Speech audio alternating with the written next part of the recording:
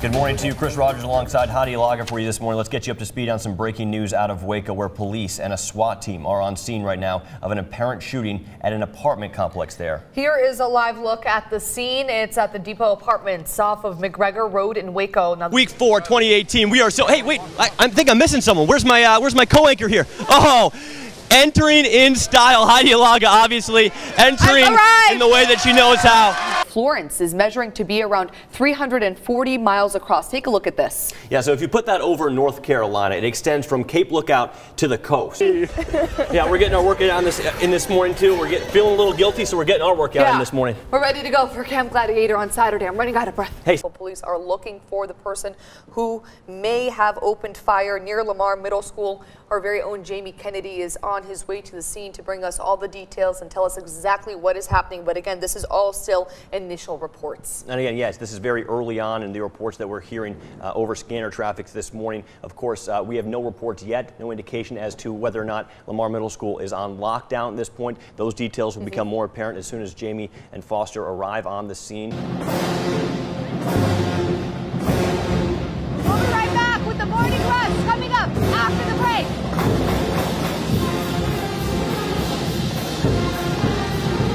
Today's Who said this. Here is the quote. It's a gift and a curse. The hint is anchoring with Heidi. I'm kidding. The real hint is OCD. Chris is standing by outside the presidential library with a look at the day ahead. Good morning to you, Chris. Yeah, Heidi, good morning to you. Of course, we saw yesterday some powerful emotions coming out of our nation's capital during the national funeral there. A quote that really stood out to me during George W. Bush's eulogy is I'll give you a little hint. Ready? Yep.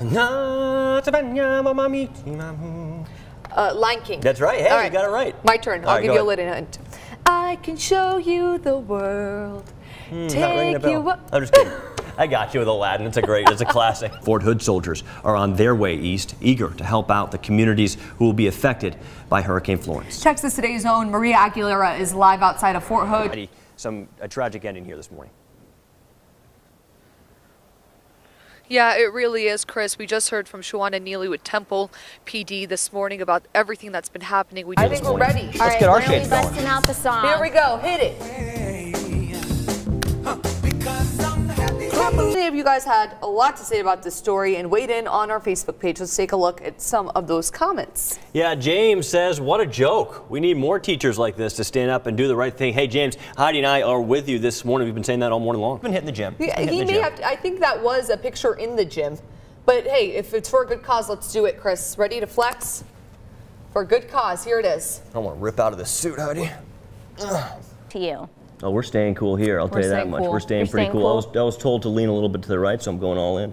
Multiple fire crews are on scene of a fire at a cabinet shop. That's where we find our own reporter, Maria Aguilera, who has been live there on the ground for us this morning. Mm -hmm. Heidi and I will be out there on the Humvee. Let's do a try our wave. I think we are going to kill it. Yeah, I'll be meowing all morning. Oh, what? Oh, meowing. it's a weekend. Mm -hmm. Let's bust out the Macarena. And right hand go. first. We will see you on Monday. Woo! We may be a little We're behind. Shake it. Oh, Shake yeah. it, Chris. That's okay. I messed up.